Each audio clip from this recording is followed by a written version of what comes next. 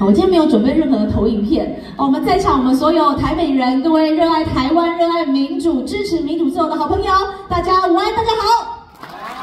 大家好，大家好。哦，我是戴伟山，我也是新北市议员。那很开心可以再一次来到 LA 来参与我们的盛会哦。我想每一次的这个夏令会都非常棒。去年伟山有来啦，去年是因为这个选举年，好，所以我来到 LA 来做这个信赖之友会的这个成立大会。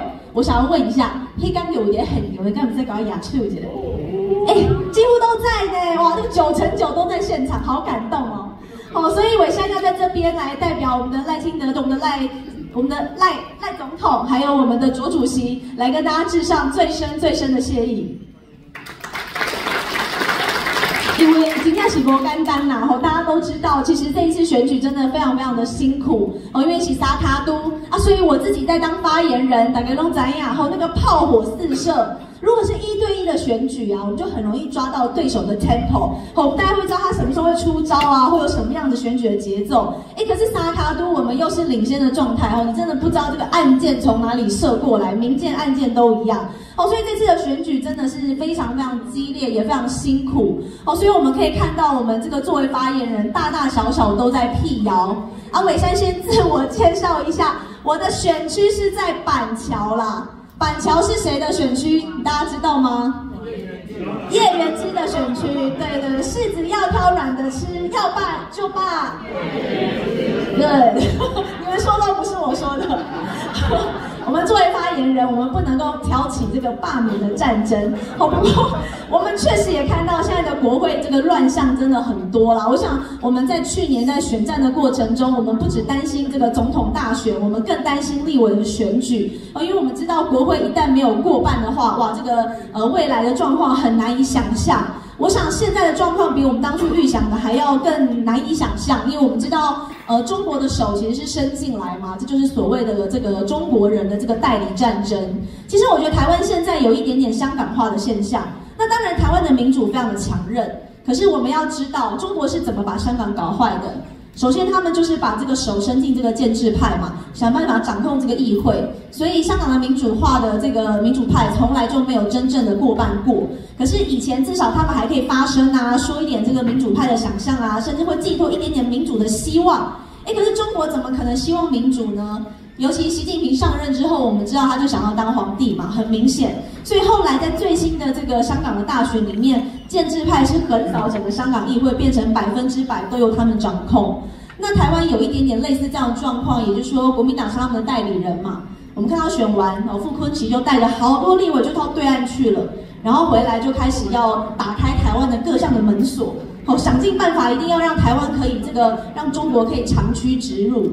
你看最近他们要修这个国安的五法嘛，或者是做前坑法案呐，做这个花莲花东三法，要把全台湾两兆的预算，也不知道可以做多少社会福利的预算投入在这个里面，要让台湾的财政崩溃。好，甚至我们看到铺马，他提一个立委附中要管制的法案，在程序委员会被封杀了六次，哎。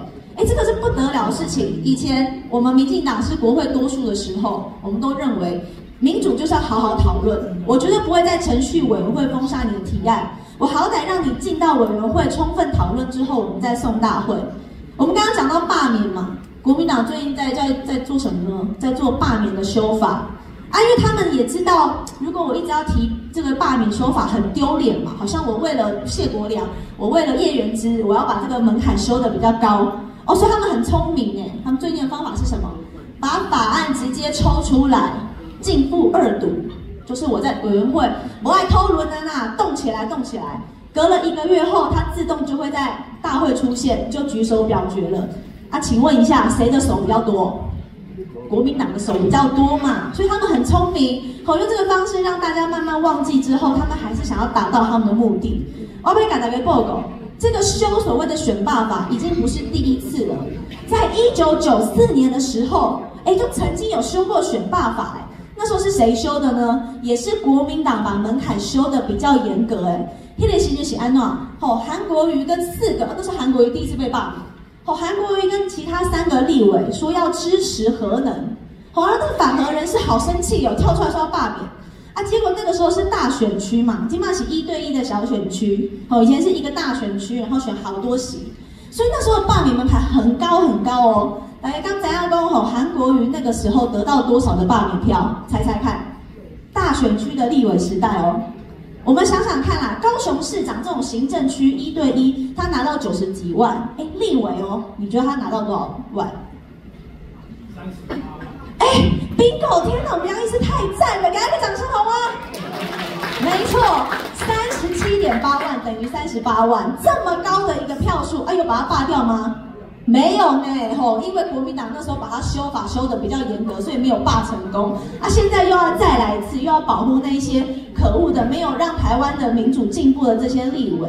哦，所以我们会看到，其实民主就是这样啦，一关过一关。曾经没有罢掉韩国瑜，但是在市长曾经被罢掉，现在做回立法院长，哎，这个好像又开启了这个这样的一个很纷乱的时代。可是我要跟大家说，民主真的是有韧性的。打给龙把揪啦，大家都有眼睛。在三十年的这个历史过程中，其实尤其是我们现在的下一代，虽然大家担心好像小草很多，可是大家不要忘记了，这是上最多公民课的一个时代。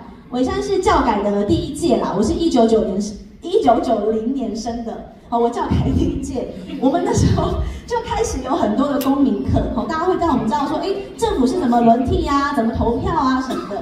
那现在小朋友其实上的更多，所以我不认为他们有这么容易被洗脑。当然，刚开始一定会有一点不同的想法，可是我想经过这段时间，大家也慢慢看出来，白银现在跟蓝银就是在唱双簧。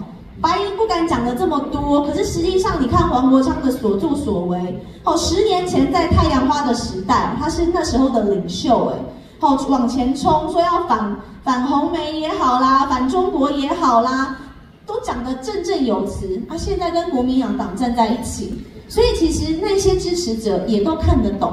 哦，所以我们看到最近在这段时间里面，我们看民调。哦，民进党的民调哦，从这个百分之三十，直接突然拉升到百分之三十七耶，突然上升七趴，这是一很不容易的事情。因为赖家安说，政党的支持度要上升非常困难，短短一个月上升七趴，代表我们的民意支持度是直线上升。那国民党跟民众党呢，往下摔了七个百分点，一个摔了六个百分点，通常都是有重大事件哦，才有办法去看到这个民调有个这么大的转折。所以，我们反过来看，就是他们现在所作所为是不被人民接受的。小草也会变成回头草。我们需要更多的是更多的沟通。我相信每一个人都是一盏烛火，都是一个灯火，都是一个希望。我常要说多沟通，不是说要找你跟他吵架，吵架是没有用的。有时候我们跟我们小朋友沟通，你越硬，他越没有办法接受。可是我们要讲什么？我们要讲的是真相。我们把事实讲出来，真相永远是力量最强大的东西。我相信大家久了会分辨。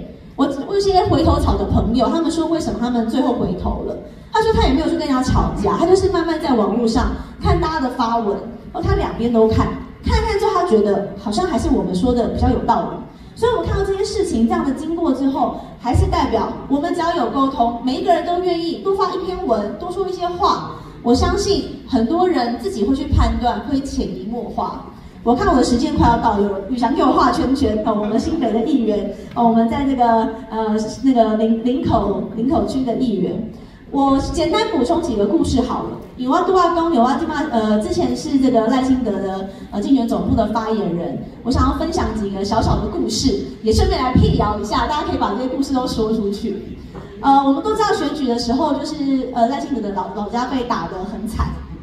好，我们当发言人，其实我们都知道，这个房子真的就是没有问题。因为咱怎样讲，这个本来就是因为这个矿区消灭之后，地方政府没有作为，好，所以让这个土地没有变成这个改变成这个相关相对应的土地使用分区，让它变成是一个灰色的地带。那就国民党乱讲，就一直骂他。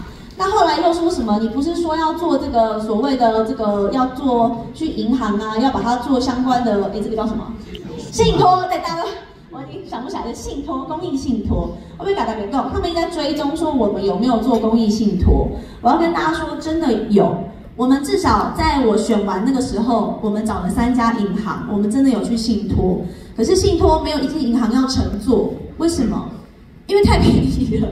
我们要知道那个房子的市价，市价只有一百零七万，公告限值只有十七万，我狼狈走，太秀了，我狼狈走，你刚才该拜托该叫，我刚没在帮我走，买无法多，所以不是故意的。再讲一个小秘密，我们的赖赖总统甚至要。想要再多加码一些，加码比公告限制还要多的，去拜托银行乘坐。银行还是说买买买，这波花倒了，这个这个公益信托我做不了，真的不会赚钱，这个信托没有用。好，所以我要跟大家说，我们不是没有努力，我们真的找了很多银行，我们持续还在找。那他的承诺不会忘记。那最重要是，矿区的这些居住正义，我们持续要做。所以那政部现在也公告了，全台湾有主要有六个县市有比较多的矿区，我们要重新去处理当地民众的居住正义。那新北市，我们作为新北市的议员，包含我们的乃云冠廷，还有我们台下我们所有我们的议员，我们都会来追踪，因为居住正义才是最重要的。我们戏子金山万里的议员的后面，他的房，他们那边就是最多矿区房子的议员。我们都要让大家有办法有一个好的居住正义，要房子有办法修缮，所以这个是我的小小的故事啦，就是希望大家知道说我们真的有在做。那反观我们的对手侯友谊，我们七月一号才休会啦，多少家又有捆。我们总咨询本来想要呛一下侯友谊说啊，你的那个大群馆啊，到底有没有做社会住宅啊？你们觉得有吗？没有。我们假装打电话去，哎，你好，我是学生。那个听说有社会住宅，可以租吗？没有没有，我们没有社会住宅哦。之前侯友承诺的五十户没有东西哦，是零哦。我们打电话去哦，没有这个东西。然后我要跟大家说，国民党跟民进党就是不一样，国民党闹骗的。我们民进党虽然会做不好，可是我们会检讨，我们会改变。所以要相信民进党，相信赖主席的带领，相信我们赖总统带领全台湾一定会走得更好。小小的补充一下。最后的最后，我要跟大家说，跟大家做个信心喊话。呃，我跟冠廷现在都会参加中常会，就每周三都会开会。那赖主席连续三周都跟大家精神喊话，好，因为我们都知道国会真的很乱，大家都很担心。他跟大家说，我们不要学国民党提那么多的肉统立法，我们不要学国民党一天到晚开支票，我们要把立场站得稳。我们也许举手会输人家，可是我们在论述上，我们一定要赢。因为我们一直说出对的事情，民进党的票是怎么来的？绝对不是因为我告诉你我可以给你多少好处，而是因为我们有理念，我们有价值，我们对未来的台湾有更多的想象。所以希望每一位委员都能坚持下去，在立法院为全台湾的人民发声。这就是我们的赖清德，我们大家选出来的赖总统。我们在遥远的我们的美西，为他一个大大的掌声，好吗？来，走过来下去台湾一定会胜利，刚才录音，谢谢大家，谢谢。